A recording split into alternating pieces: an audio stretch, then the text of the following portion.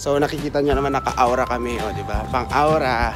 Marami kaming gagalaan for today. Saan saan? Just keep on watching. Hey!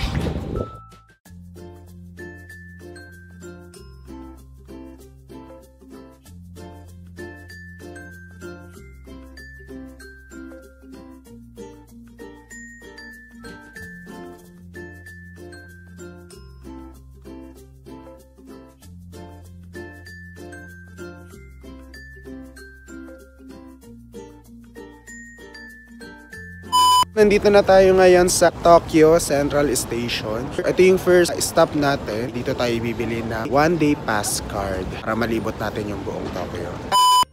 Grabe, naninigas yung mga kamay ko. Papunta na tayo ngayon sa subway. Ah, pwede natin bilhin yung ah, one day pass.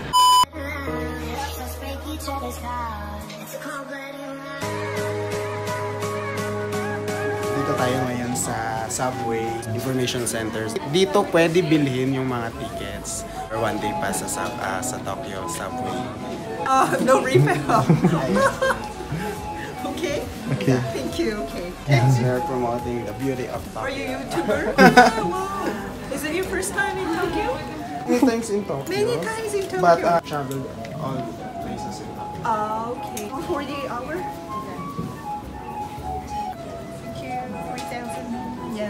600 yen. Yes.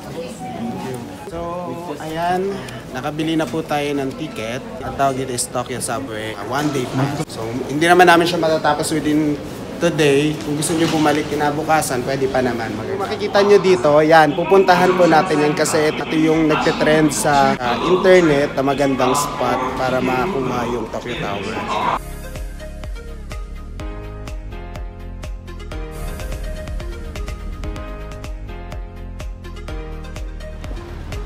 Hey, welcome to Tokyo Tower. Nakita na, na natin yung location. Sobrang saya.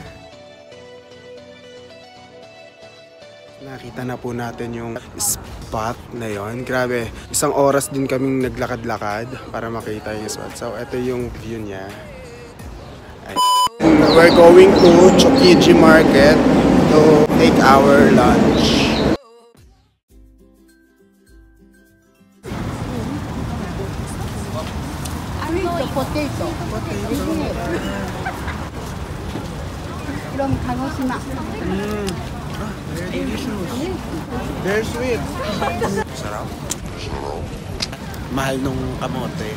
Samantalang sa uh, Pinas, nabubulok na yung kamote sa atin. Meanwhile, Pwede kumuha? Mo? Tawag dito first one. ano yan? Nandito na tayo ngayon sa Chokiji Market. Already 12 in the afternoon. So dito na rin tayo kakain. Tara, tara na, let's go. So, sobrang daming tao. So talagang ah, isa to sa mga famous tourist spot here in ah, Tokyo.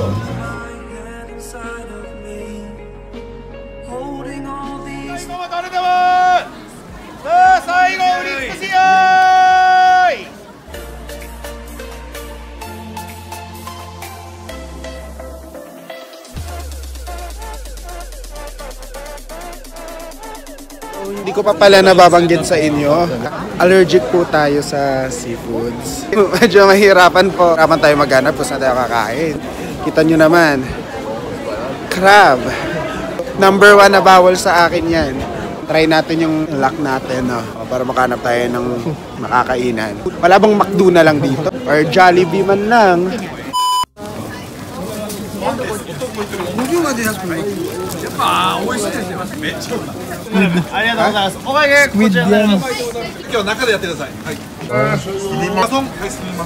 Tapang mo ah. Ah, try natin to. Maybe I found out. Dito tayo nabubuhay guys. Sa taste. Medyo maganda na yung panahon. Kanina kasi medyo napalakas yung ulan kaya stop tayo sa pagbablog. Grabe, sobrang daming tao. Hindi ko na rin na-videoan yung pagkain namin dahil yun nga, sobrang daming tao. Siksikan. Papunta na kami sa Ginza. It's Ginza. Because we foreigners. Sure. Ayan, maaraw na, di ba? Nakakatuwa.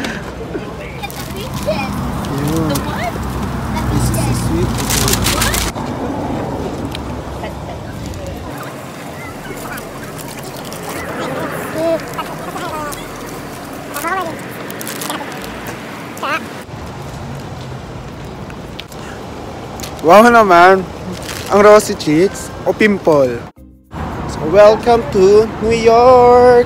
So, nandito na tayo guys sa New York. Hey!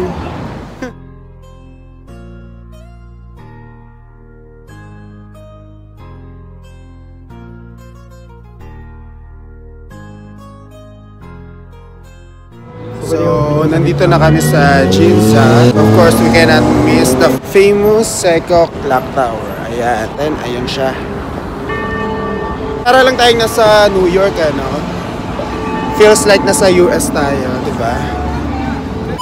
So, medyo uh, iba yung setup na ngayon dito sa Ginza kasi before, uh, during summer, nakasara yung daan.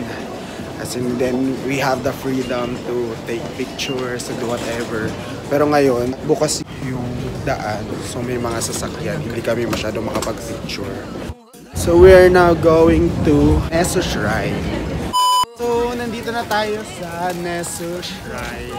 Kung saan makikita natin ang Torii Gates. So tara, bisitahin natin. Bago ka pumasok sa shrine or sa temple, kailangan mo muna mag-bow. So I'll show you how to. Like this one. And then, pwede na tayo pumasok.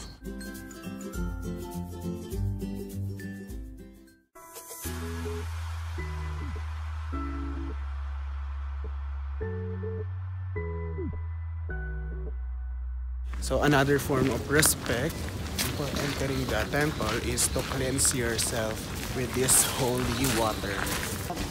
So, paano natin siya ginagawa? Ito ay tinatawag na tabo. Then ito, running water siya. Running water, then na spring water. So, ang gagawin natin is lilinisin natin yung mga kamay natin. Then, dahil malinis siya, pwede rin natin siya panghubog at inumin. Babalik natin siya. So, pwede na tayo pumasok sa loob. So, tara na!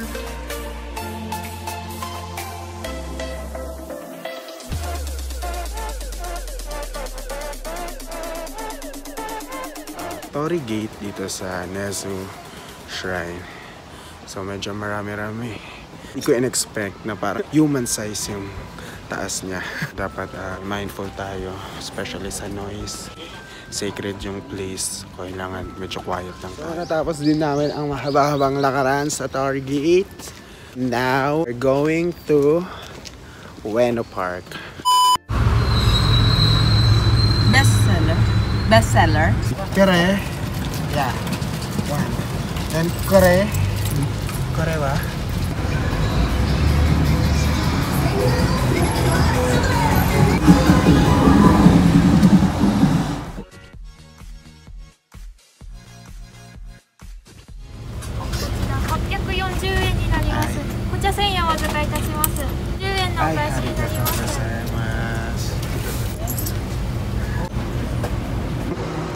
So, hindi ko talaga alam kung anong flavor to eh. Pero purple siya.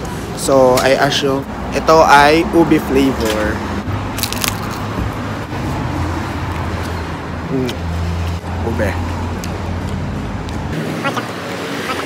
Nakita mo yung ano? Yan, matcha de. Then siya sa wafer. So parang kumakain ng ice cream na nasa tinapay. nag start na ang pagdilim. Dito, it's 5pm pero madilim na po sa labas. Ah, Papunta na tayo ng Ueno. At check natin yung mga bilihan ng mga pabango. Actually, para siyang shopping district din.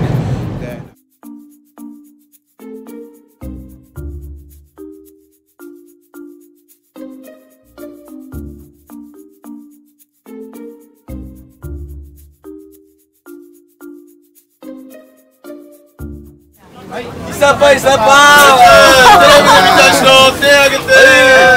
dapat na Masarap, masarap. Dami, dami. Masarap, masarap! Mas barato, mas barato. Isa, dalawa, tatlo, apat!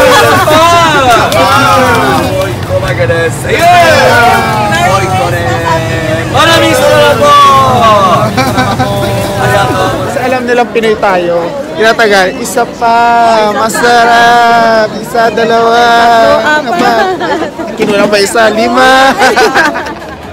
Hi, say hi to my Paga, halo halo kay mas masarap. Mas masarap. Mas masarap ka Mas masarap dito. Shawarma. Shawarma, maniok, paga, bakla, halo halo kay. Halo, halo.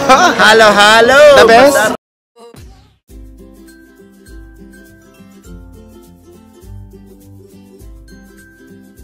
So finally nahanap na namin yung shop at naka-countdown sale sila ngayon. So check natin. Pero hindi ako bibili, sila lang.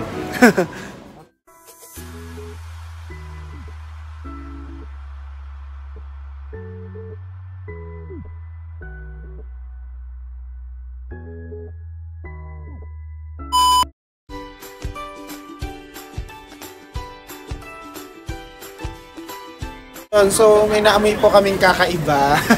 Because sobrang bango niya. So, tatry natin siya kasi sa labas pa lang yung amoy. Ang sarap. Ito, ipapakita ko sa inyo kung paano bumili. Kahit ako, practice to eh, kung paano bumili sa kanila. Um, custard. Two custard, then one cream. Yeah, two and one. Six. It's no takeaway. At yes, take out.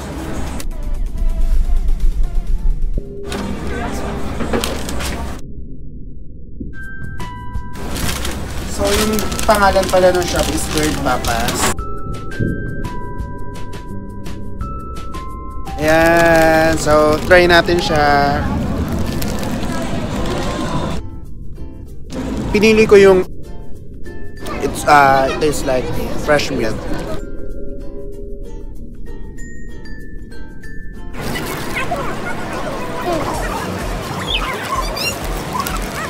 The best, masarap.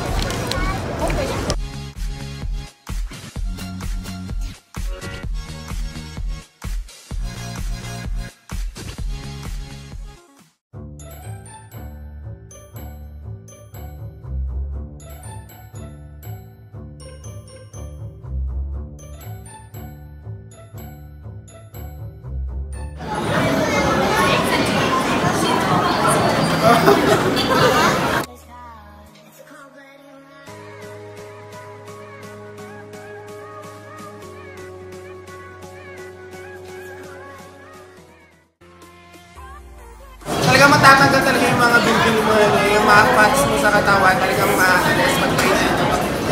Try everyone.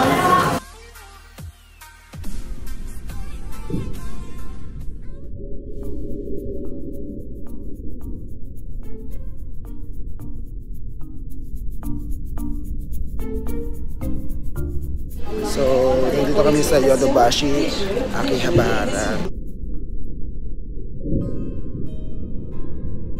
Masarap din, masarap din magtingin-tingin kasi ang dami mong gustong bilhin pero wala ka lang pera. ayun. So, malaki siya, napakalaki niya. Then, ayun, kung, kung may budget kayo, pwede kayo pumunta dito.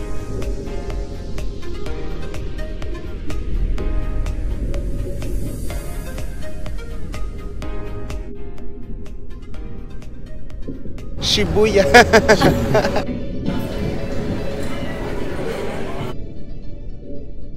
But before that, nandito na kami ngayon sa Shibuya. Asa na?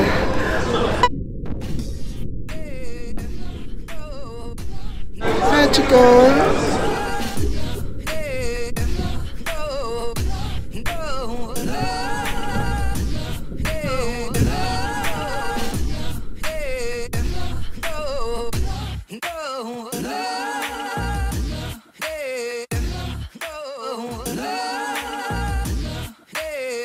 Dito na po nagtatapos ang alay lakad.